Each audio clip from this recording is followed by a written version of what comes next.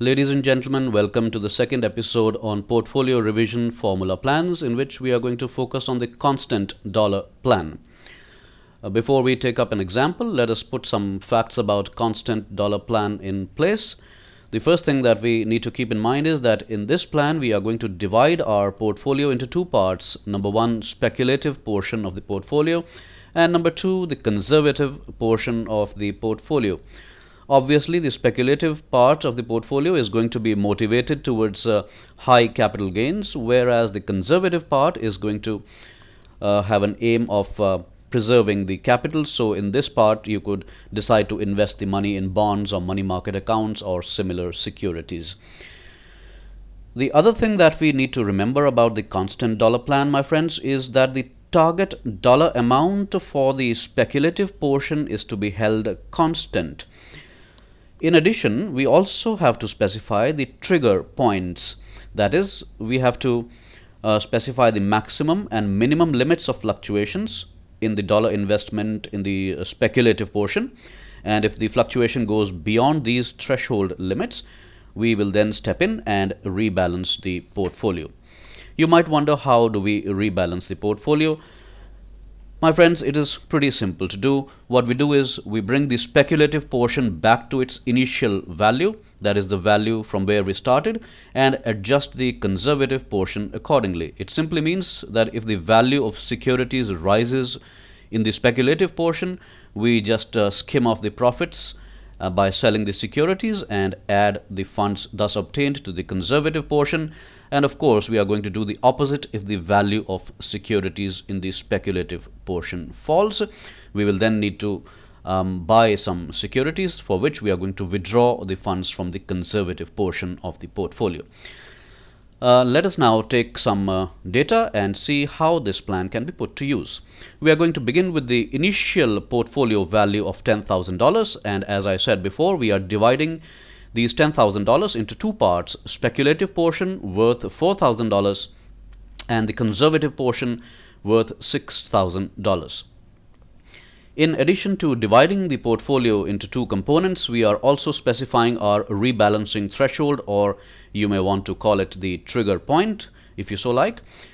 Uh, the rebalancing threshold is in this case is the speculative portion. If it rises or falls by $1,000 or more than its initial value we are going to step in and take charge and bring the speculative portion back to the original initial value of $4,000 to see how this happens let us um, look at this little table and as we fill it the mechanism of this plan will become clearer to you. In the first column ladies and gentlemen we have the value of securities supplied to us uh, uh, already $10, $10.50, $11, 14 and 13 and $9.80.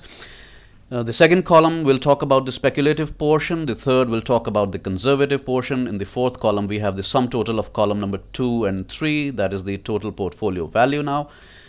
Uh, in column number 5, we are going to um, keep an account of the various transactions, buying and selling transactions that we might to make in order to rebalance the portfolio and in the last column column number six we are going to keep a track of number of shares that we have in the speculative portion of the portfolio. So let's begin quickly.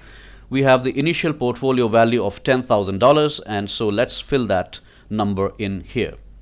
Total value of the portfolio that we start with is 10,000 of which $4,000 belong to the speculative portion and $6,000 belong to the conservative portion. And at the moment, we haven't made any transaction. This is our starting position. Uh, what we need to do in the last column here is that we need to write the number of shares that we have, uh, number of shares or securities that we have in the speculative portion. We have $4,000, my friends, as you can see in the speculative portion and the value of each security is $10. So that means 4,000 divided by 10 that is 400 securities is what we have to begin with in the speculative part of our portfolio. Now in the next row the price or the value of the securities is going up to $10.50 this will mean $10.50 multiplied by 400 is going to give us $4,200 in the speculative portion. The conservative portion we keep constant at uh, $6,000 which will now give us a total portfolio value of $10,200. Now when we look at the number under the speculative portion, we realize that we have not yet crossed the threshold level which has been set by us at $1,000. The value of the speculative portion in this case has gone up just by 200. So the trigger point will not be activated and we are going to continue to hold 400 securities in the speculative portion and move ahead to the next row where the price is $11 now with $11 as the value of securities and 400 securities in the speculative portion, the value of the speculative portion is going to be 11 times 400 and that will be 4400 and you will realize that we have still not arrived at the trigger point. We keep the conservative portion at $6,000 and the total value of our portfolio is going to jump up to 10,400 dollars number of uh, shares or securities in the speculative portion remains 400 in this row now ladies and gentlemen the value of the securities has gone to 14 so when we multiply 14 with 400 securities that we have in the speculative portion the value of the speculative portion is going to become 5600 and clearly we can see that we have jumped the threshold now which is 1000 um, and we are going to in a moment do the rebalancing after we complete this row. So in the conservative portion we had $6,000 so let's uh, write that. The value of the portfolio the total value is going to be now $11,600 and at the moment we have 400 securities or shares in the speculative part of the portfolio. Now let us do the rebalancing. If we take a difference between 4000 and 5600 because we have jumped the threshold by $1600 5600 minus 4000 and we need to bring the thing back to $4000 there's a difference of 1600 um, dollars. So what we are going to do is we are going to sell some securities out of the speculative portion worth $1600 and we are going to add these $1600 to um, the conservative portion. So in fact here I should not have written 1600 I should write 4000 we are subtracting $1600 from 5600 to bring the speculative portions value back to 4000 and the extra amount is going to be added to the conservative portion so that this is going to go up to $7,600 keeping the total portfolio value same at $11,600. Now here in this uh, case we have sold some securities out of the speculative portion. So in this column for transactions we need to make a note of how many securities we have sold. We have uh, sold securities worth $1,600 at the going price of uh, $14. So this means 1600 divided by 14 will give us approximately 114.29 securities so we are going to write here 114.29 securities sold, which also means that the balance of securities in the speculative portion is going to fall by the same number of securities. We had 400 securities to start with. We have now sold 114.29 of them. So what remains here is 285.71 securities. We proceed ahead to the next uh, row and realize that the price has gone to $13. So 13 times 285.71 is going to give us the value of the speculative portion which is going to be 3714.23 and the value in the conservative portion remains 7600 uh, giving us a total portfolio value of 11314.23 no transaction will take place. We are going to have the same number of uh, shares in the speculative portion that is 285.71. Why no transaction is taking place is because though the value of the speculative portion is declining from 4000 it has gone to 3714 it has still not hit the threshold point because we have set it at $1000 so in order for us to rebalance the portfolio the value of the speculative portion must fall to $3,000 or less. Since that has not happened, we move ahead to when the price or the value of the securities is $9.80.